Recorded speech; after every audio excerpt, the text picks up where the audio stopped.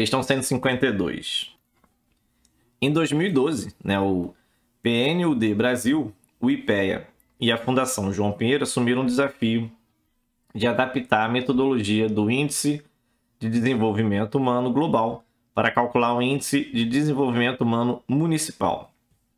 Então, dos 5.565 municípios brasileiros, com base nos dados aí do Censo Demográfico de 2010, também se recalculou o IDHM pela metodologia adotada para os anos de 1990 a 2000. Para permitir a comparabilidade temporal espacial entre os municípios, e aí depois ele comenta, né, dá um quadro de cinco cidades aí brasileiras, né? Então tem aí o DHM de 1990, de 2000 e de 2010 das cinco cidades aí. E aí ele fala, ó, uma ONG decide fazer um trabalho de acompanhamento com a cidade que teve a menor média aritmética dos IDHM das três últimas décadas dentre as cinco cidades analisadas. Né? Então aí ele pergunta qual foi o município que a ONG escolheu. Então aqui é uma questão é, direta, certo? Aqui ele deu uma questão direta, ele só quer saber aí dentre as cinco cidades, qual vai ter a menor média. Então é, uma, é um tipo de questão que sempre cai no Enem, certo? Sempre cai no Enem, que é uma questão que você não vai fazer uma conta difícil, né? Eu sempre falo isso, né? Não vai fazer uma conta difícil, mas vai fazer bastante conta, porque você tem que fazer em todos para ver qual é, é, nesse caso, o menor.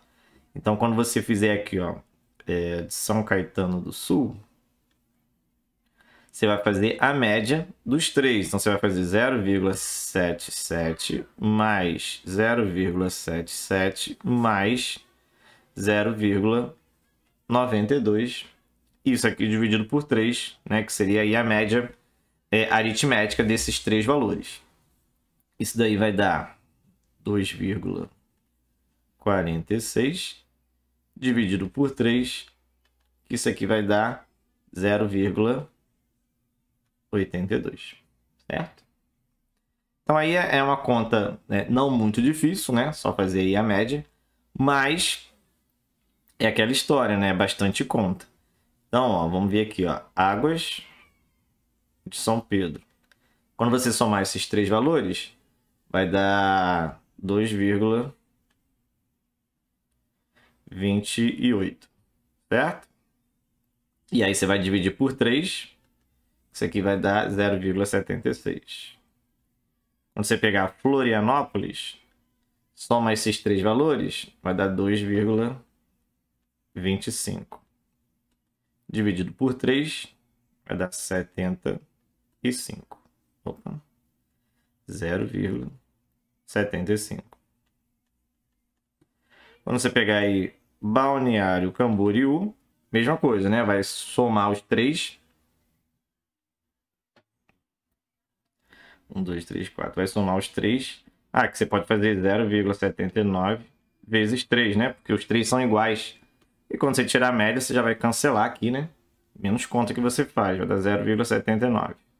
Certo? E o último, que é vitória, você vai somar os 3 de novo, vai dar 2,28. Igual aqui o Águas de São Pedro. E divide por 3, né? Tá calculando a média. Também vai dar 0,78. 76. Então, dentre os 5, o que tem o menor é o 0,75. Então, ela vai escolher aí Florianópolis, né? Então, é uma questão que cai bastante no Enem, né? Cai bastante, assim, de contas simples, mas que você tem que fazer com todas as cinco opções que ele dá, que aí você vai perder aí o seu tempinho calculando, tá?